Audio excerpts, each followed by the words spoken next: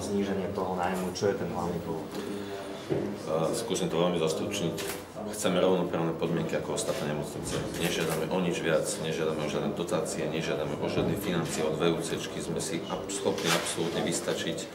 Nie sme za súčasnej, za súčasnej situácie schopní platiť 500 tisíc eur ročne nájom.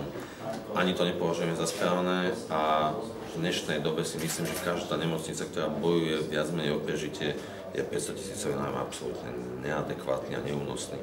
Čo hrozí v prípade teda, že k zmene tej nájomnej zmluvy nedôjde?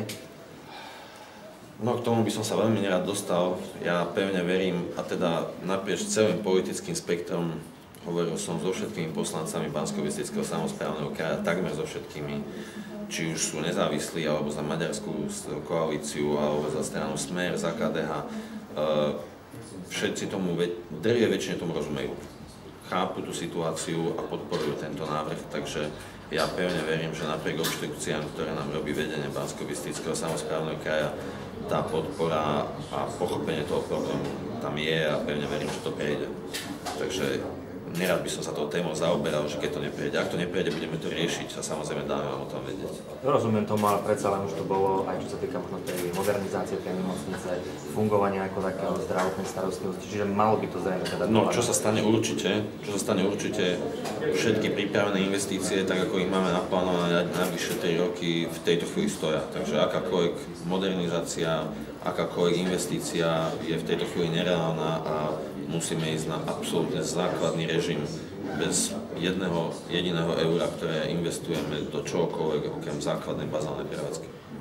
A ešte ak môžem jednu, tú 100 tisícovú pokutu ste dostali, tá je bez ohľadu na tieto všetky veci, ešte ju riešite, alebo už je pase? No, samozrejme 100 tisíc eur pokuty, ktorú sme dostali hneď v prvý možný deň, kedy sa dáva vystaviť, napriek tomu, že teda táto téma sa už rieši od takmer začiatku roka, o čom župan bansko kraja samozrejme vie, tak v prvom momente, kedy ju mohol tú pokutu nám udeliť, tak nám ju udelil, my sme ju samozrejme namietali, ale táto téma je samozrejme otvorená a ja predpokladám, že bansko samozprávny kraj nás bude naďalej tlačiť možné súdnou cestou do toho, aby od nás ešte okrem 500 tisícového nájmu ešte dostal aj 100 tisícovú pokutu aký je jeho motív za tým, to už nech si spraví každý názor sám.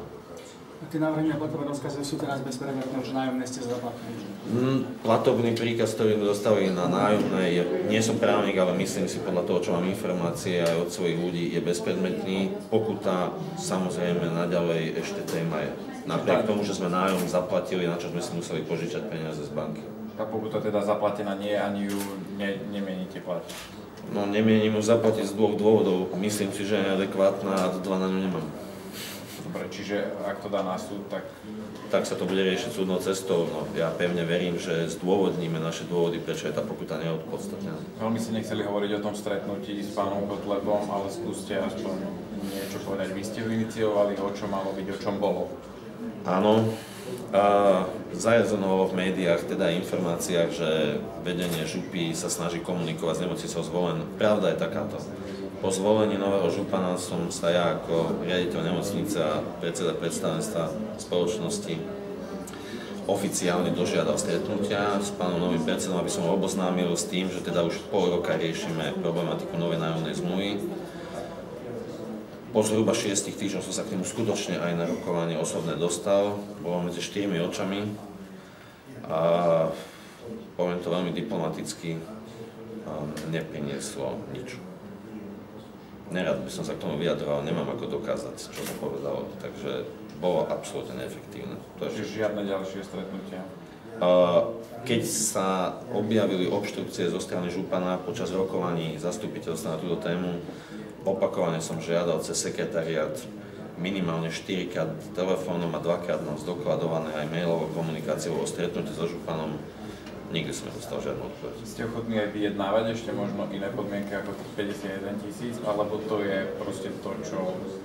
Myslím si, že spravodlivé žiadať rovnaké podmienky pre všetky nemocnice. Máme všetky rovnaké podmienky od poisťovní, všetky rovnaké podmienky zákonné od štátu. Podmienky sú pre všetky nemocnice nastavené rovnako nevidím rozumný dôvod, prečo by sme mali mať iné podmienky z tejto strany.